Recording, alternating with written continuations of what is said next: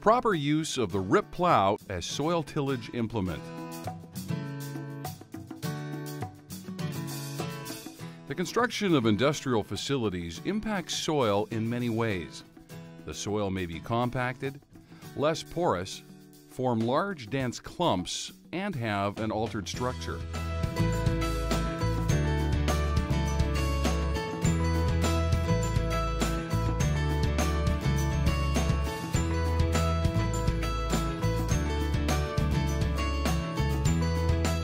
Several methods are currently being used to till compacted forest soil, including a wide range of teeth, shank spacing, and tooth modifications.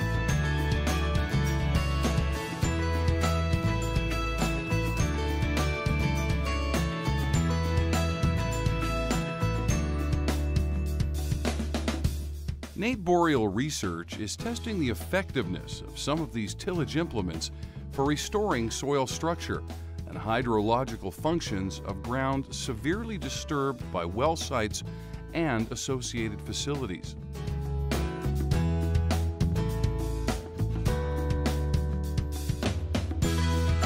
The RIP plow is a tillage implement capable of plowing disturbed soils to a depth of 90 centimeters. It works from the bottom of the profile up with the objective of plowing subsoil while retaining topsoil.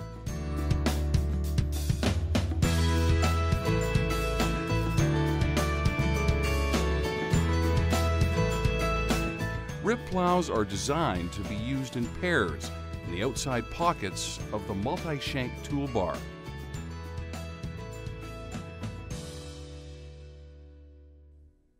Here are our recommendations on how to best use the rip plow to improve the quality of compacted soil and restore its capacity to grow vegetation.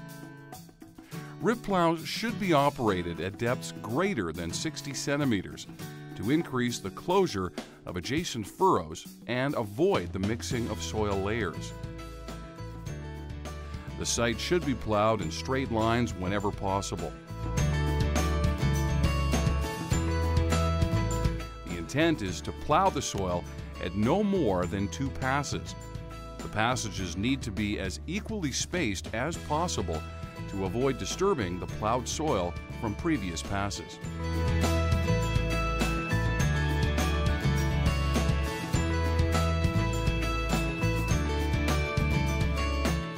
The first pass of a pair of rip plows covers about 30 to 35 percent of the area being tilled. The second pass generally fractures all of the soil between the first pass furrows.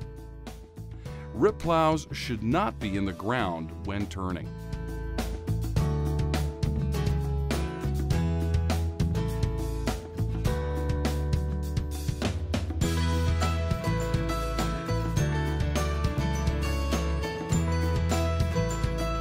Rip Plow has the capability of plowing across a wide range of soil moisture conditions.